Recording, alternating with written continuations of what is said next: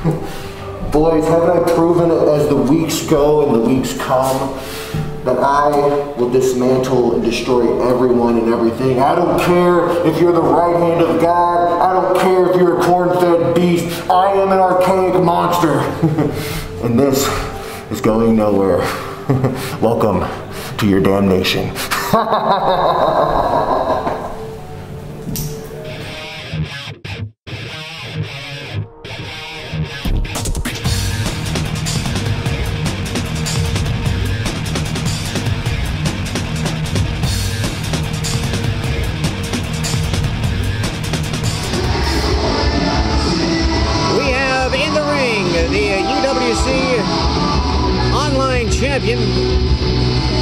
and he's going up against young Derek Moss. Making his return to the UWC. And there's the bell. And the Warden not getting a great response from the fans. We do know that the Warden sooner or later will have to defend that belt. As we found out in the lethal lottery match a while back against both Bo Sawyer and Sam Knight. And you see the Warden trying to come in and whoa, quick arm drag. Derek Moss is very quick. And again, down goes the Warden. well, the Warden's coming at him quickly. Atomic drop. Inverted atomic drop. Clothesline. Ward. Moss with a splash off the ropes and a cover. And I was able to see this young man, Mr. Moss, early in his career, out in the western central part of the state. And now he is certainly advanced, getting some extra momentum, comes back and runs right into the right hand. The Warden, again with a second right hand. And a third right hand, and down he goes. The Warden is fist taped. He's a very odd individual. Now, basically ripping the hair out by the roots. That mask on the Warden, you never can tell exactly what's going through his head. But you can see what's going through Moss's head right now. It's a right hand, and he's landed that a few times with some real effectiveness. Brings him back up and lands again. And now Moss to find a way back up to his feet. He got off to a quick start against the Warden. And again a right hand. And that's pretty much been what the Warden has done so far is just, oh now here, Moss fires back. The left, now an elbow, sends Moss down. It's been a while since I've seen Moss in action, but I can remember again getting his hair pulled out by the roots. I remember being very impressed with him when I first saw him over in the Springfield, Illinois area.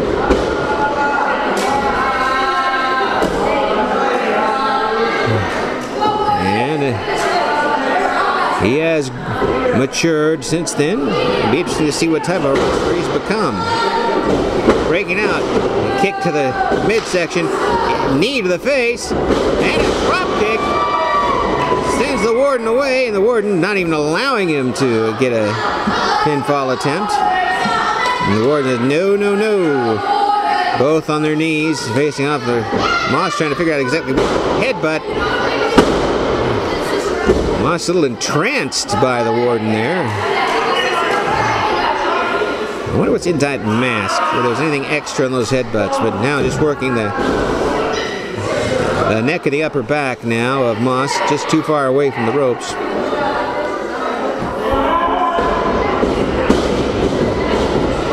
It would be a good pelt in the trophy case of Moss, should he be able to get out of this. Trying to get some crowd support behind him. And the crowd trying to get support behind young Derek Moss as he works his way up. Elbow to the midsection. Second elbow. Tries to go to the ropes, pulled down by the hair. referee warning the warden, but uh, you can be assured that the warden knows exactly what he's doing in the ring. And since he's won that title, he's just become, uh, I think, even more sadistic. Certainly effective with his sadism. And has been able to keep that title for quite some time. He did bring the uh, stick down to the ring with him. I don't know whether he calls it a bow stick or what. Into the corner goes Moss. Well, what's what's he doing? Kind of trying to figure out what he's going to do. Collects himself, drives in, gets caught, and driven directly into that top turnbuckle by Moss. Moss getting some momentum back flying knee in the corner. Trying to get some momentum again. Flying forearm. Bounces off the rope again. Lands an elbow. And it's all Moss right now. The youngster trying to get some support from the crowd, and he's going to try again off the ropes. And this time, tried to be met with a fist thrown out. Backcracker on the ropes, and that could be all. If he gets the cover, gets him away from the ropes. And he does. Good move by Moss. Cover one, two, and no, rolled out. He had a cover, but really didn't have the shoulders pinned down on the mat like you would like. He really has to put more pressure on the shoulders. And Moss getting ready to land a forearm. Nope, blocked by Warden. Warden brings him up. There's that standing fireman's carry. And no, Ward. Moss backs out of it. Second kick, spinning kick doesn't go. Into the ropes, comes off. Flying forearm, and Moss is down. And a cover. One, two. Oh no. And a little more to Moss. I've been impressed with this young man, his ability. He's still young yet, still relatively inexperienced, but the, you can see the raw talent is there in the young man. Now the warden brings him up. Oh, guillotine. No, rolled out of it. Spinning, discus punch. Down goes the warden. One, two. Oh, almost. The warden was being very, very deliberate trying to get the guillotine neck breaker. And Moss worked his way out of it now. What's he trying to say? Brainbuster, he says. And the warden making his way to his feet. Sets him up. In the middle of the ring. It's going to be tough to get out of this one. And up, no, blocked. Quick shot, couple shots, a third shot to the kidneys. And whoa, into that knee. Fireman's carry.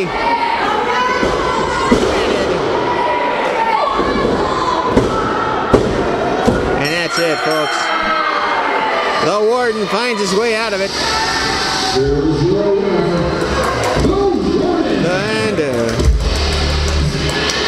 Mr. Moss certainly put out a tremendous effort, but it was the warden coming out victorious.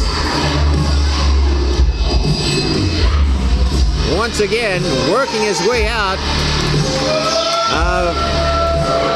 Derek Moss had all his weight in the last part of the match, all the momentum going toward Moss. But the Warden again pulls it off, and again he's just getting more effective the longer he holds that title. How long will he hold the title, though? He's got that triple threat match coming up. Men.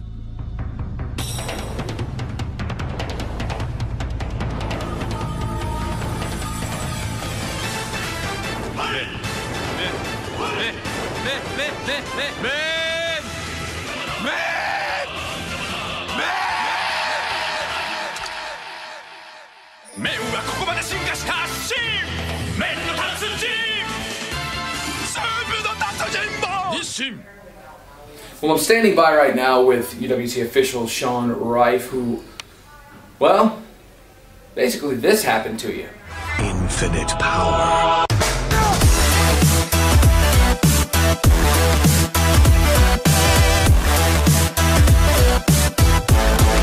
What is Jimmy Carrick's partner going to be? It's Sean Rife is going to be the fourth one.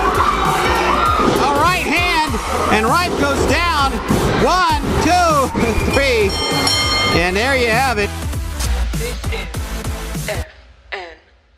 Now, after seeing that and knowing that it was anybody in the locker room that could be chosen for the lethal lottery, Sure was. how are you feeling now, man? I mean, it, it sounds like you're talking okay, but Well, you know, I'm in, I'm, I'm still in quite a bit of pain. You know, uh, I couldn't eat right for a couple days afterwards. Um, but I have much more respect for things those athletes do out there. I mean, I'm no athlete myself, uh, but they put their bodies on the line out there. And I'm still hurting now, and I'm going to be taking this week off to heal up some more because uh, I'm still sore. Like the ice, icy hot, you know, I had welts on my chest. It was just painful. Well, it's good to see that you're still in good spirits and everything, but here's my question right now, and the one that everybody out there is wondering. You've had a taste of it. Nobody knows better than me, okay? But you have had a taste of it now. You know what in the ring competition is like. You've been on the other side. Would you do it again? Well, Stone, the body definitely says no. But uh, this heart right here, definitely. In a heartbeat, I would do it again.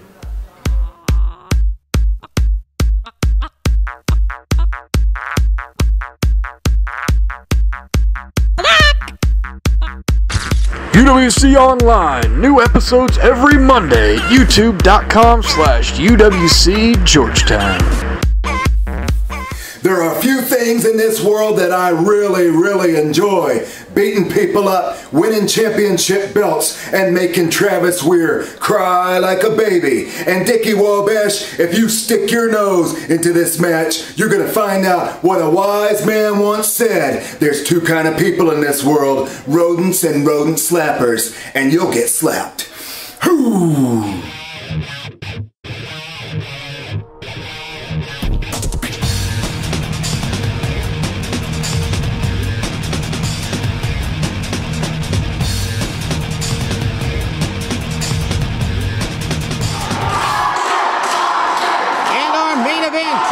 Edition of Online, Uncle Slam 2, Harker Dirge in the ring against Travis Weir. They wrestled not that long ago in the black on a pole match, the prize award on the pole match, and Harker Dirge got the win there. And I tend to think that Harker Dirge may be in the best physical shape of his, well, at least the time I've seen him, and it's been several years now. Travis Weir with the Dickie Wabash in the corner. Wabash studying it intently. And now going chest to chest. And knocking him away with that war cry as Harker Dirge and Weir comes right back up to him again. And right back again goes Travis Weir. Now Weir is a competitor. He certainly can do the job. But Harker Dirge, I said, maybe in the best shape of his life. And he may be wanting to get back in that championship picture sometime soon. And the arm wringer on Weir to start things off. Turns that wrist and adds a little extra twist. Weir backs him into the ropes and fires off. No clean break from Weir. And now Weir going for a couple of shoulder blasts to the midsection. Brings him back out into the far corner. Brings that arm. Is he going to sling him? Nope. Brings him in. And this is a concussive blow, shoulder to shoulder with the person on the receiving end gets the worst of it because his shoulder is not in a position to take such a blow. And right down for a pinfall attempt to just a one as Dirge slips away. And right to the head, now back to the arm. Wrings it again, does Weir. Getting some instruction from the outside from Dickie Wabash. Crowd getting behind Harker Dirge. Dirge rolls through. Kip up from Dirge. Look at this. And a reversal. Step over and takes him down. Nicely done into that armbar. And that could be a submission right there. Doesn't quite have the torque he would like on it, and now he's got himself into a precarious pinning situation. And up and over. Now he's really got it cinched in. This could be all right here. This could be it. Nope. Brings toward the middle of the ring. And really now working on that left arm.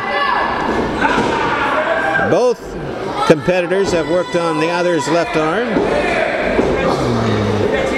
Now Weir tosses Dirge up, swing and a miss.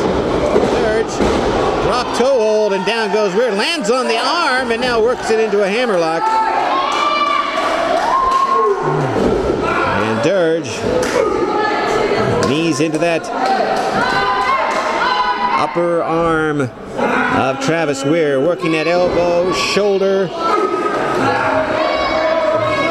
working a hammerlock. Now takes his arm back so he can't get the ropes.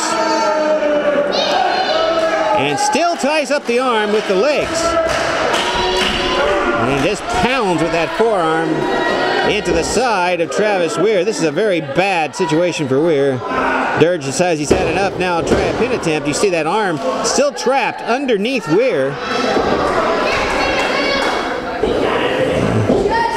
And Weir goes right to the eyes to get away from it.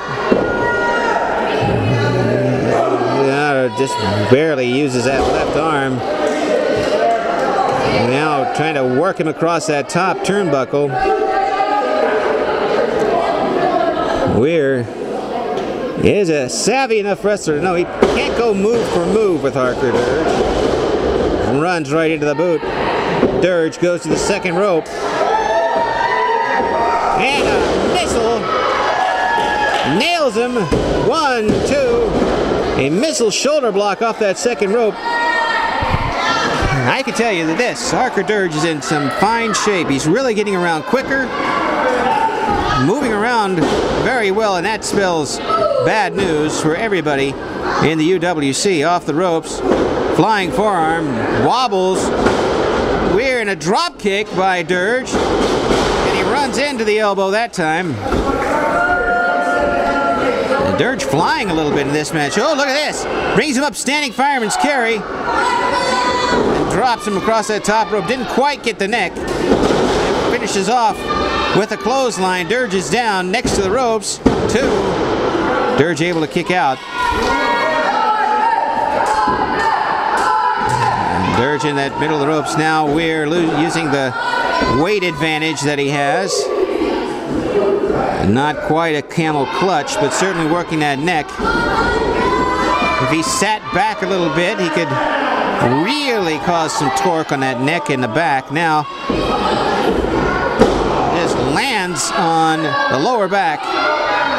That caused extra problems because Dirge had his knees underneath him.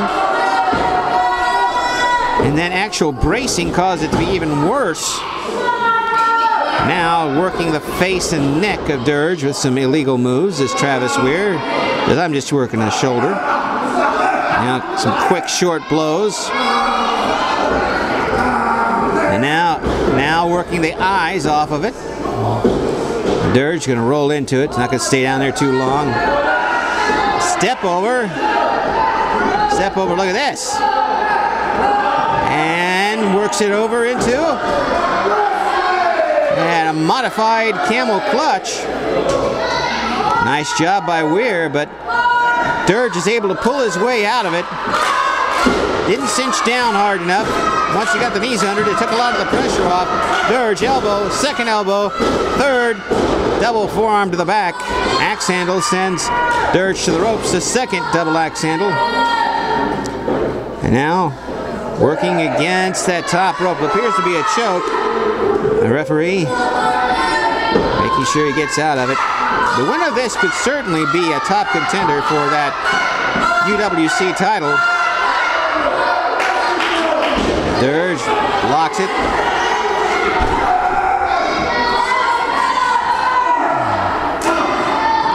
Pounding the back. And now Dirge has woken up. Oh, kick. Oh, flies into that turnbuckle. Another one. Is he going for a triple? Safe at third. Now a home run. He scores. Oh, hanging on to the top. And hits again, hanging on. Third time now. Cover. One, two, no.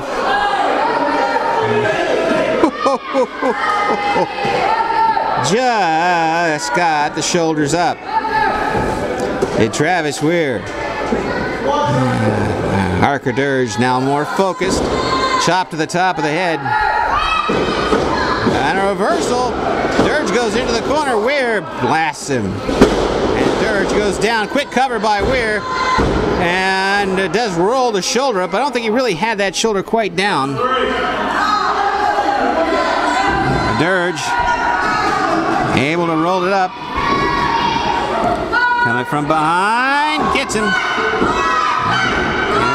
Bear hug or a submission, swing and a miss. Now it's a bear hug, and that's not exactly what I believe Weir was planning for. Weir one step ahead of Dirge that time.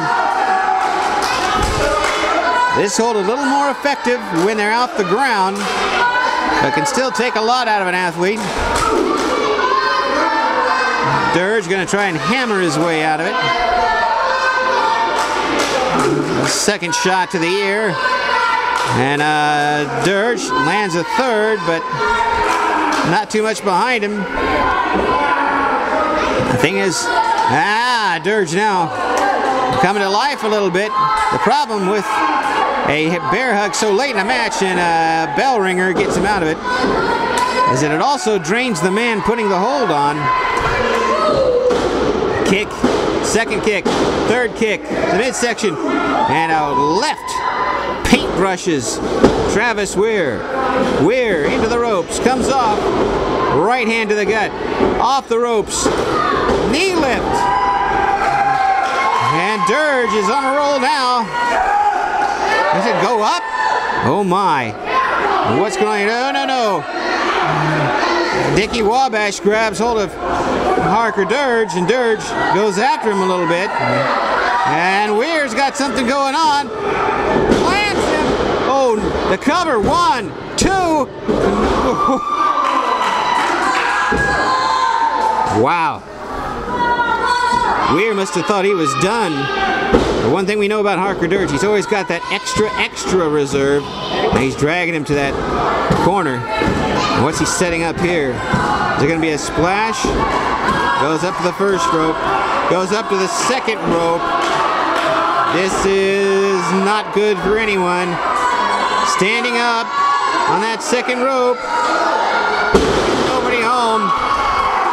Fired it a little too far. I thought he might have brought in Dirge a little too close for that one. And Dirge able to roll out of the way. When you get Dirge down, you cannot take your time. You have to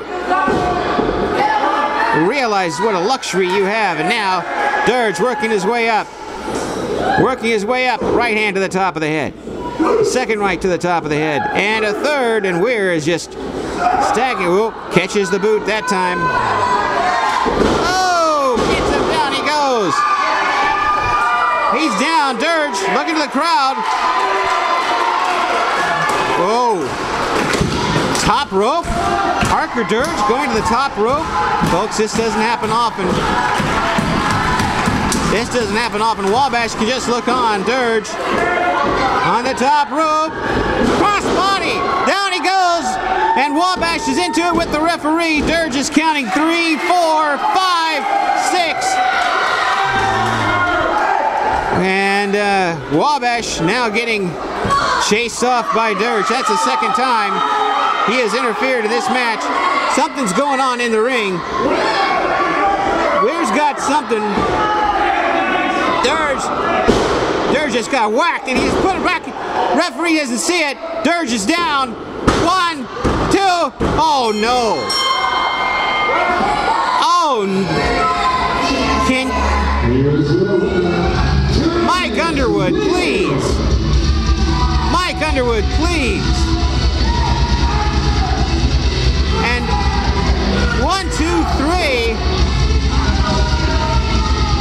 Those, check those tights, Mike Underwood. And Travis Weir has got the win. The referee is leaving the ring. Whoa, there it is. There it is. Dirge has that chain. Harker Dirge has a chain. Good night.